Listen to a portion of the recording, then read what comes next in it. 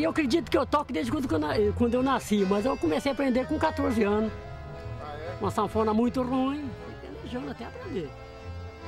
Quando eu tinha uns 14 anos, meu pai comprou uma sanfona melhor e foi pelejando com a vida. Até hoje eu não aprendi, mas faz uns barulhão lá nos forró, lá em Baratai.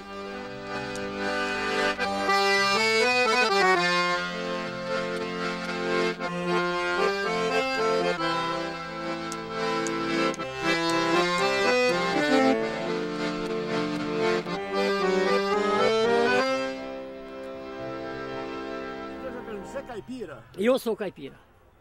Como que é ser caipira? Ó, ser caipira é a coisa mais gostosa do mundo. Não tem vergonha de falar tudo errado perto dos outros. E vamos que vamos. Os outros não acham, não acham ruim, porque a pessoa que é estudada sabe que. A pessoa que é inteligente sabe que aquela pessoa não, não tem um nível dele, não estudou que nem ele. Então acaba sendo até bom. E você acha que o caipira tem muita coisa para ensinar pro homem da cidade, assim? Eu acho que tem muita coisinha boa. E como os homens da cidade ensinam pra gente, né?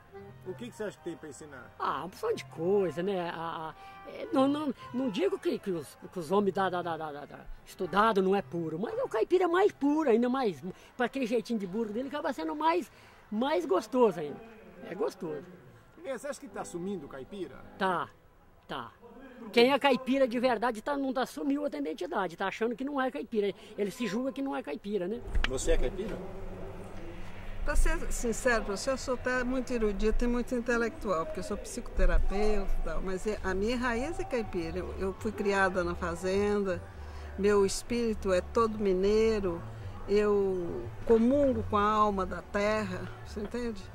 E, e, sinto que minha voz é a voz sertaneja, por mais que eu seja erudita, é, é o lado simples e sincero do caipira que me atrai.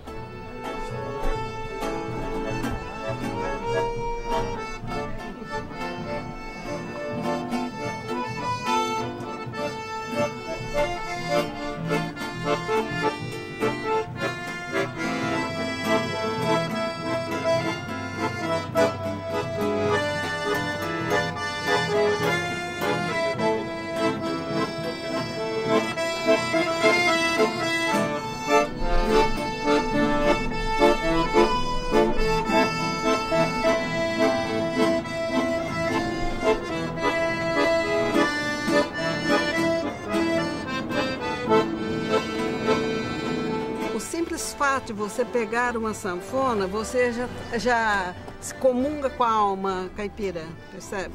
Porque é difícil, apesar de você ter uma formação erudita em acordeon, nunca você vai conseguir transmitir é, tudo o que é, só o caipira consegue falar, você percebe? Se você tem sensibilidade artística, você já entra em sintonia com a terra com o grupo, com a cultura, com a vida. O acordeon te leva para o mundo do, do grupo, da, das festas populares, da, do encontro, da dança.